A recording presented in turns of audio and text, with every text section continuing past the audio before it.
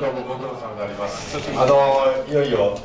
事実上明日で、えー国会があ終わる、まあ、形式上は明後日までということでございます。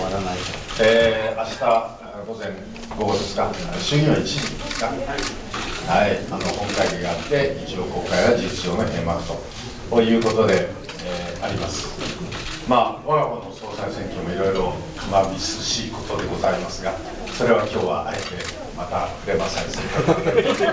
くさんお見えで申し訳ないんですがね、えー、触れないことにいたします。えー、ここで僕が安倍さんとバトルでもやるがきっともう皆さん喜ぶんだろうと思いま。あ、そういうバカなことはいたしません。えーまた逆に民主党の方もですね、いや細野君が出るとかね、えーなってきて、一体これまたどういうことになるのか、まあ、どっちが勝つか選挙だかね、わかりませんけどね、えーまあしかし、4人目の、4年で4人目っていうのはね、我ら3年で3人目って、もうどれだけ言われたことがね、本当ね4人目ですからね、こんなに細野さんがハンサムで、頭が良くて何したってね、4人目っていうだけで僕はね、あんまり評価されないのではないかと思いますが、まあ、こればっかりは、まあ、あちらの党の中のことですから、あれこれ言うことでもないのかなと思っております。まあ、総裁選挙、堂々たる